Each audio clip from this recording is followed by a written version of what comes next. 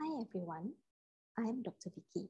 I'm the Maternal Medicine Fellow in Hospital Tunku Azizah Kuala Lumpur. Today, I'll be talking about antiphospholipid syndrome in pregnancy. I believe many of us have heard this syndrome multiple times. Well, we have been managing many of the complications of this uh, antiphospholipid syndrome in pregnancy. Therefore, it is very important for us to know how to diagnose, when to screen it, rather than to treat the complications arising from this syndrome. Let me walk you through the outline of my talk today. First, we'll be talking about pathophysiology of antiphospholipid syndrome. I believe pathophysiology is important for us to understand the disorder before we can treat the syndrome in pregnancy. Then we will discuss about the diagnostic criteria as per recommended by the panel of experts. When do we screen for APS and how do we screen it?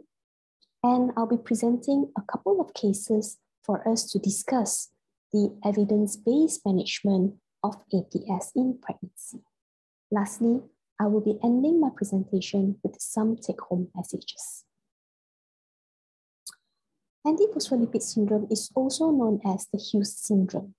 It is a clinical autoimmune syndrome characterized by venous or arterial thrombosis and or pregnancy morbidity in the presence of persistent laboratory evidence of antiphospholipid antibodies. Now, it can be classified into thrombotic APS, where venous, arterial, or microvascular thrombosis take place.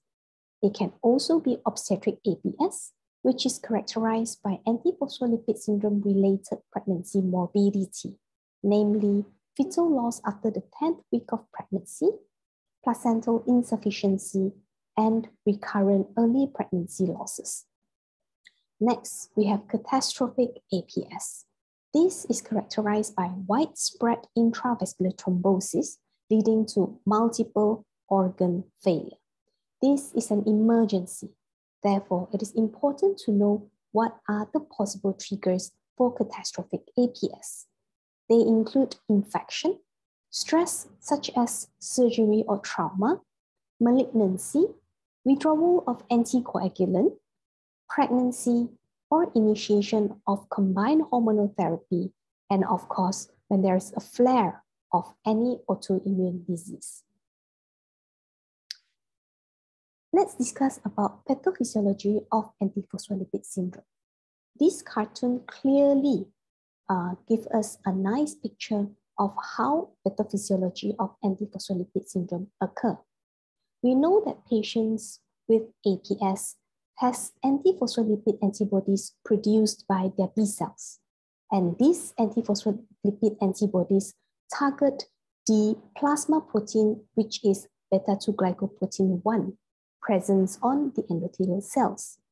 With the binding of antiphospholipid antibodies to this beta-2-glycoprotein 1, it activates the inflammatory cells and endothelial cells to release E-selectin, increase tissue factor, release vascular endothelial growth factor, and increase complement activity.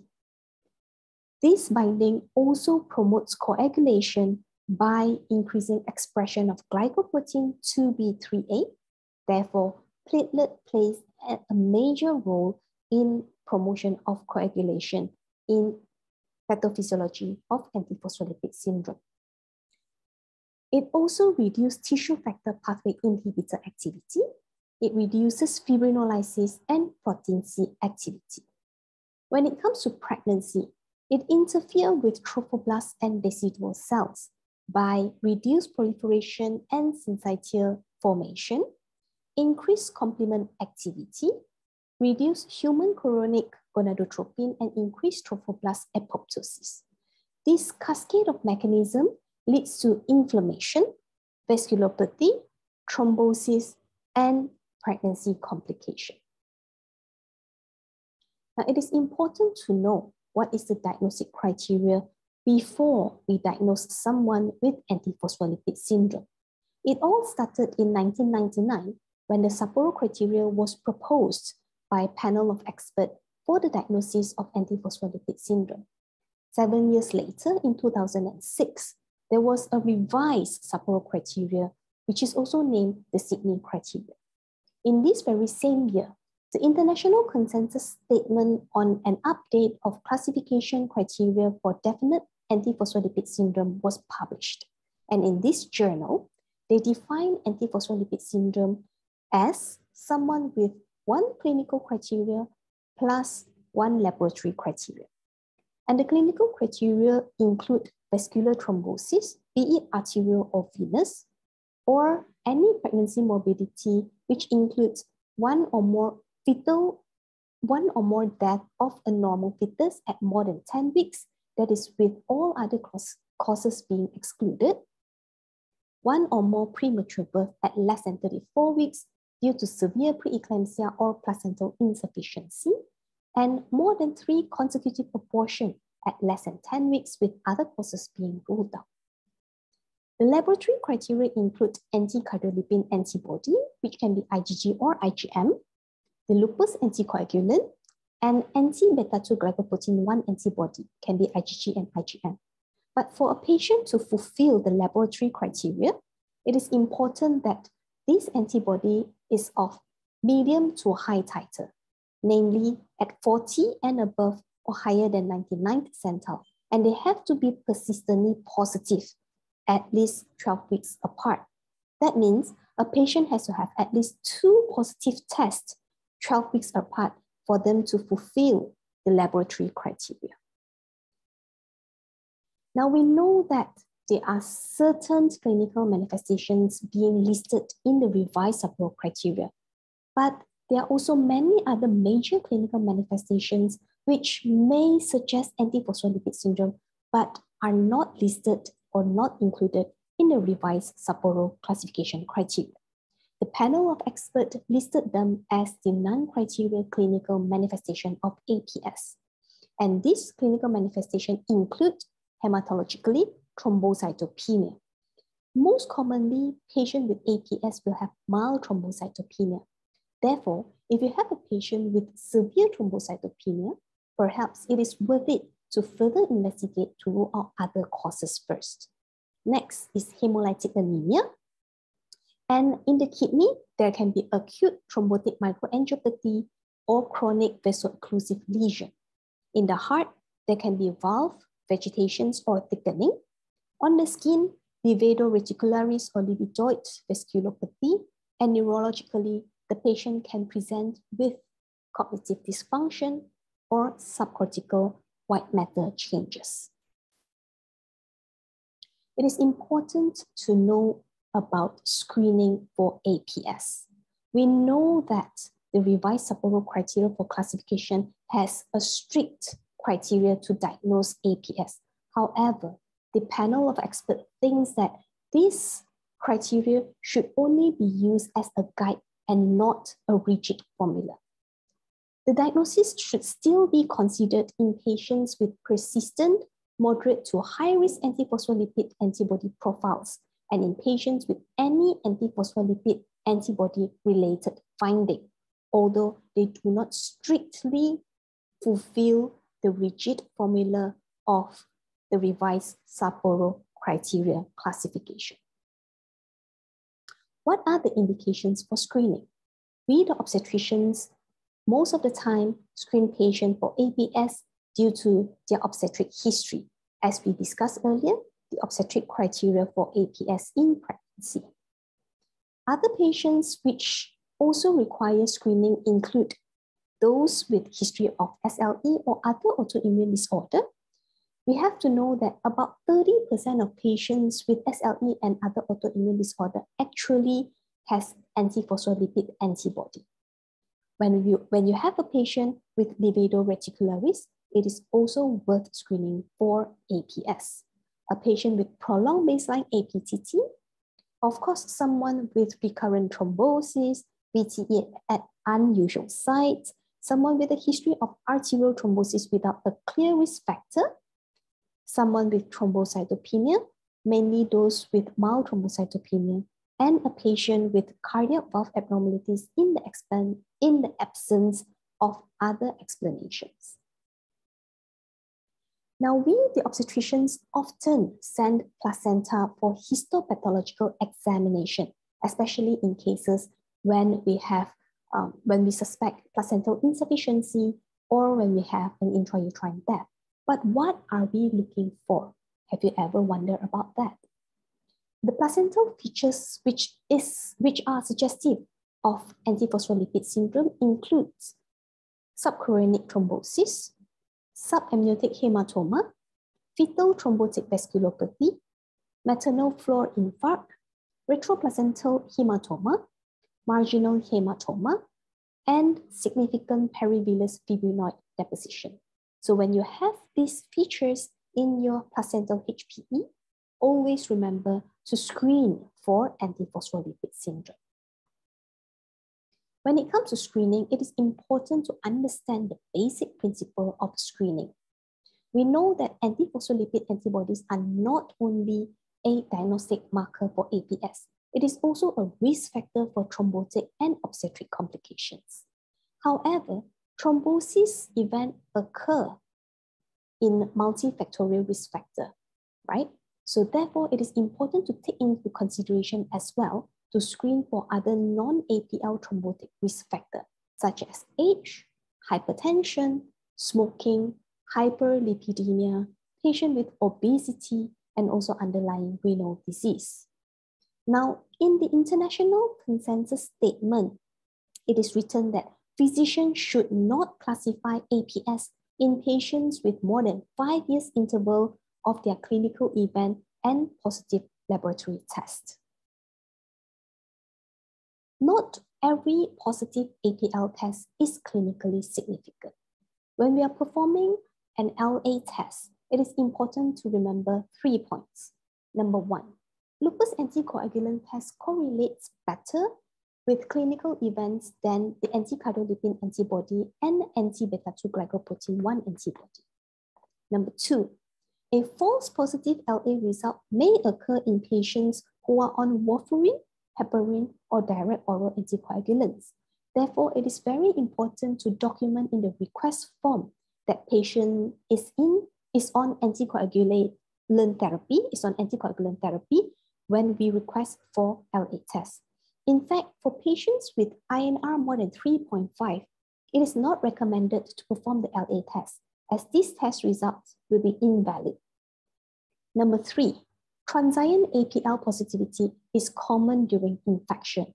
Therefore, it is important to obtain a thorough clinical history when we order for the test. And it's also the reason why to diagnose APS, we have to have persistent positivity rather than transient positivity. How do we perform LA tests? Have you wondered? Now, LA testing is performed in three steps. Number one, screening.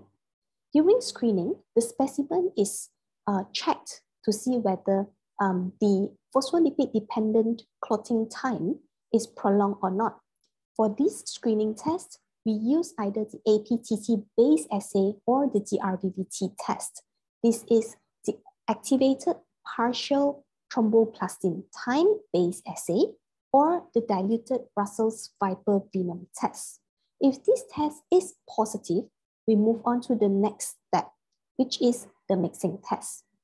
During the mixing test, a control specimen from normal pooled plasma would be added in one-to-one ratio into the specimen of your patient.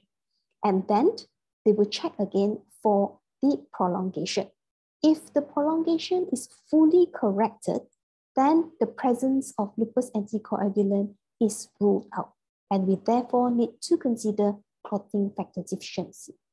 However, if the mixing test is not, uh, does not fully correct the prolongation, then we proceed to the final step, which is the confirmatory test.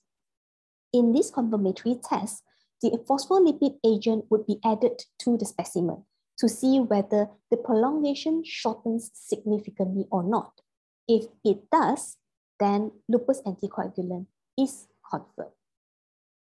Now, while we are screening for lupus anticoagulant, it is also important to remember, although LA correlates best with thrombosis and obstetric events, the interlaboratory concordance is very poor. This is mainly due to many labs using different LA assays which is available in the market. They can be APTT based or DRVVT, and different labs can have their own cutoff for the positivity of the LA test. All right. Um, one positive test is suffice to confirm positivity. However, if you have a negative test, it is recommended strongly that two or more LA tests with different assay principle should be performed prior to excluding the presence of lupus anticoagulant. Therefore, I think it is important when you have a patient which, clinic, which clinically is really suggestive of antiphospholipid syndrome, however, her APS screening is negative, perhaps you should send the specimen to another laboratory using a different assay principle to check whether is this really a negative antiphospholipid screening. Now, let me walk you through a few clinical vignettes for us to discuss about the evidence-based management of APS in pregnancy. Now, during the discussion of these cases, I will be mainly based on two clinical guidelines, which is the EULAR recommendation and also the ACR recommendation, because these two are the most important guidelines and they are based on evidence. Let's start with our first case. This is a 35-year-old primigravida at 12 weeks. She's a known case of SLE and was found to have lupus anticoagulant positive. A scan shows that this is a viable intrauterine pregnancy. Now, this is a patient with APL positivity, but without APS. What does the guideline recommend? The EULAR guideline recommends for patients with high-risk APL profile but no history of thrombosis or pregnancy complication, whether they have SLE or not, treatment with low-dose aspirin of 75 to 100 milligram daily during pregnancy should be considered. This guideline is based on some um, experts' opinion because um, Although some randomized control trial and some low quality studies suggest that there is no difference in the prevalence of live birth with the use of low-dose aspirin, experts still think that it is important to put patients on low-dose aspirin as these are the patients at, with increased risk of thrombotic and obstetric uh, complications. What, is, what does the American College of Rheumatology recommend? They recommend for patients with SLE, we should continue hydroxychloroquine if they are already on. If they are not on, we should start them on hydroxychloroquine. They also agree with the use of low-dose aspirin. Now, APL positivity without APS, just low-dose aspirin will do. Our second case, this is a 31-year-old G4 para-1 at seven weeks. She has stable SLE with lupus nephritis her ANA, dsDNA, anti-Ro, anti-La are all positive. Her APS screening shows LA positive, but her ACL and anti-beta-2-glycoprotein 1 is negative. She had two previous history of second trimester loss at 18 and 20 weeks respectively. And she also had a history of early neonatal death in the third pregnancy at 29 weeks with a birth weight of just 600 grams. On scan, this is a viable intrauterine pregnancy. This is obstetric APS. And what does the guideline recommend for patients with obstetric APS? The EULAR guideline recommends for patients with obstetric APS only without prior thrombotic event, whether with or without SLE, a combination treatment with low-dose aspirin and heparin at prophylactic dosage during pregnancy is recommended. This is based on some data from randomized control trial showing that for women with a history of fetal loss, combination treatment with low-dose aspirin and prophylactic heparin was associated with a higher likelihood of live birth compared with treatment with low-dose aspirin alone. The American College of Rheumatology um, suggested for patients with SLE, continue hydroxychloroquine. If they have anti-Ro anti-La positive, we should perform serial fetal echo from 16 to 26 weeks. And for patients with obstetric APS, we should be on low-dose aspirin with prophylactic heparin until 6 to 12 weeks postpartum. Let's move on to our third case. This is a 29-year-old primary gravida at 10 weeks. She had a history of ischemic stroke a year ago. Her BMI is 25, she's not a smoker, and she has got no medical problem before that. Her ANA is negative, echo and carotid artery Doppler are normal as well, but her APS shows positive APL antibodies. This is definitely a thrombotic APS.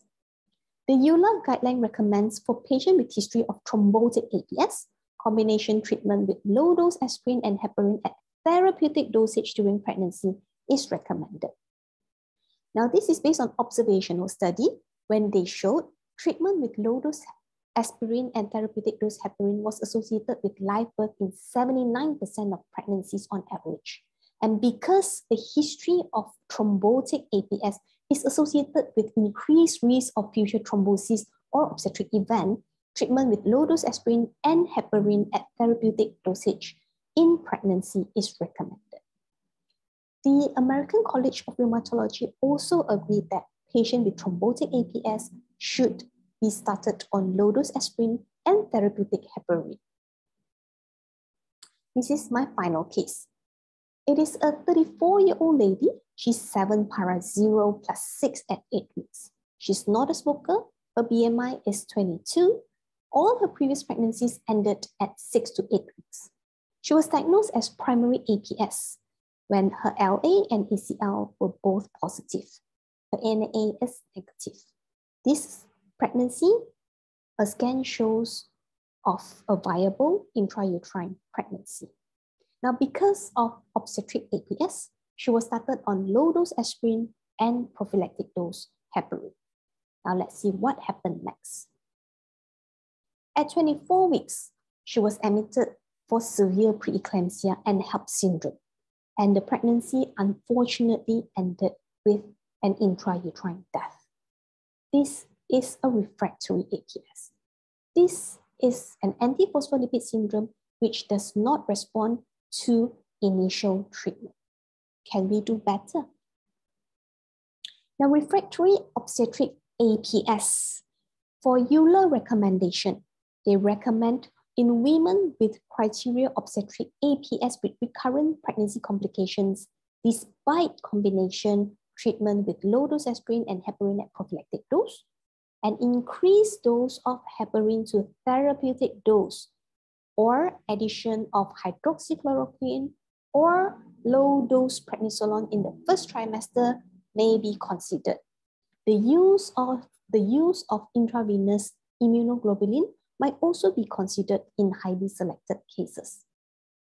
What does the American College of Rheumatology um, recommend? They think that this is still obstetric APS and therefore they still stick to their recommendation of low-dose aspirin with prophylactic heparin until 6 to 12 weeks. Yes, maybe we can add on hydroxychloroquine, but they conditionally recommend against therapeutic dose heparin or IVIG, and they are strongly against the recommendation of prednisolone. Let's look at what does the evidence say. Now, this is a paper published um, looking into first trimester low-dose prednisolone in refractory antiphospholipid antibody-related pregnancy loss. And the authors found that um, before low-dose prednisolone was given, only 4% pregnancies ended with a live birth.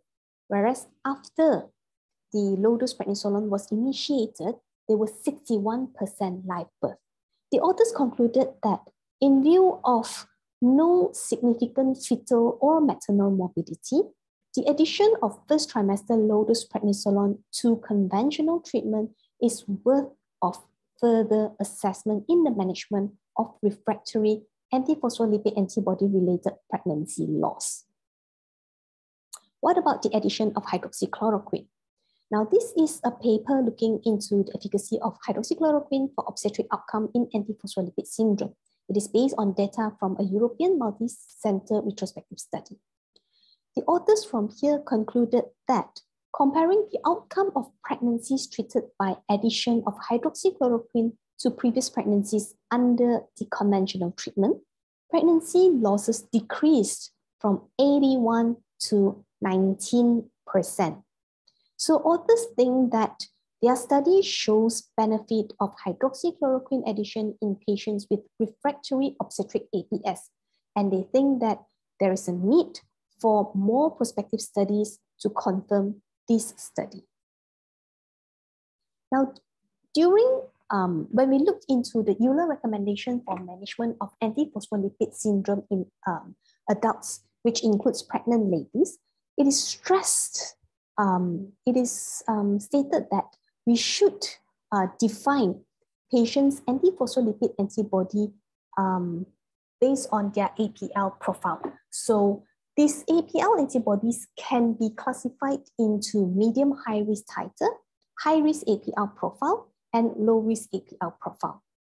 Now we know that, as we mentioned earlier, we know that medium high APL titer means when uh, the anticardiolipin antibody and anti-beta 2 glycoprotein antibody is above 40 or 99 percentile based on the ELISA test. Now, what is high-risk APL profile? High-risk, high-risk APL profile means there is presence of lupus anticoagulant or when there is double or triple antiphospholipid antibody or when there is persistently high APL titers. A low risk APL profile is isolated anticardiolipin antibody or anti-beta 2 glycoprotein 1 antibody, either one in medium titers or when there is just transient positivity of antiphospholipid antibodies. Now, why is this APL profile so important? Now, this is the American Journal of Obstetric and Gynecology, where they, there is a paper published in the AJOG in 2017 looking into antiphospholipid antibody profile-based obstetric outcomes of primary antiphospholipid syndrome. This is the PREGNANTS study. The authors concluded that women with primary antiphospholipid syndrome have increased risk of obstetric complications and lower live birth rate when there is more than one antiphospholipid antibody. And despite therapy with low dose aspirin and prophylactic low molecular weight heparin, the chance of live birth is only 30% for triple positive women. Now, talking about triple positivity, there is another study looking into triple antiphospholipid antibody positivity associated with pregnancy complication. And the conclusion from this study is combination treatment with low-dose aspirin and low molecular weight heparin did not always prevent adverse pregnancy outcome, especially in patients with triple antiphospholipid antibody positivity. And these are the patients who deserve additional therapeutic strategies during pregnancy. Again, refractory obstetric antiphospholipid syndrome and um, their features, treatment, and outcome. And in this study, they concluded that the main features for refractory obstetric APS were the high rates of lupus anticoagulant and triple APL positivity. So we can see from here that high, uh, high risk APL profile, namely high, high rates of lupus anticoagulant and triple APL positivity they are the most important risk factor for uh, refractory obstetric APS. And also the APS, meaning APS, which does not respond to our routine treatment. And the uh, authors for this paper actually concluded that steroids could be effective in this APS profile, but prospective studies are necessary. Now let me summarize uh, my, the management um, recommended in EULAR guideline and ACR into one slide.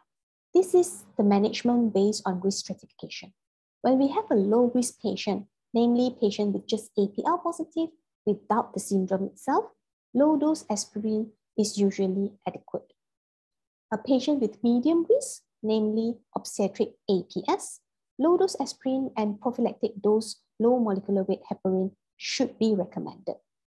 High risk patients, such as those with thrombotic APS, should have low dose aspirin and therapeutic dose low molecular weight heparin on board. And those with very high risk, namely triple APL positivity and obstetric or thrombotic APS or refractory APS should have low dose aspirin, therapeutic dose low molecular weight heparin, maybe hydroxychloroquine, maybe with the addition of low dose prednisolone in the first trimester. Now, I would like to end my presentation with some take-home messages. Number one, it is important for us to identify risk factors and screen adequately. It is only with screening that we will be able to diagnose antiphospholipid syndrome. And only when we diagnose the syndrome, we'll be able to provide treatment to improve the care of these pregnant patients. Number two, treatment should always be customized individually. We should always treat the patient and not the investigation results. Not all patients behave similarly with one treatment. Always, uh, always um, customize your treatment based on individual needs. Next, if you have failed a therapy, do not give up. Think again. Maybe we missed something, or maybe we should escalate the therapy further. These are my references, and with that, I would like to thank everyone for tuning in. Thank you.